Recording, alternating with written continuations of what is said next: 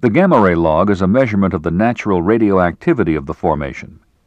Because radioactive elements tend to be concentrated in shales, the gamma ray normally reflects the shale content of the formations. The gamma ray log is scaled in gamma API units of radioactivity, with high readings causing a deflection of the curve to the right, and low radioactivity causing a deflection to the left.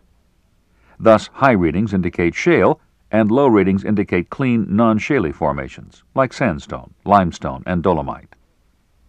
However, a clean shale-free sandstone may also produce a high gamma-ray response if the sandstone contains micas, potassium feldspars, glauconite, or uranium-rich formation waters.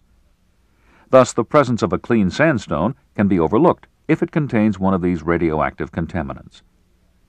If radioactive contamination is suspected, a type of log called a gamma-ray spectral log can be run that breaks the natural radioactivity of a formation in concentrations of potassium, thorium, and uranium.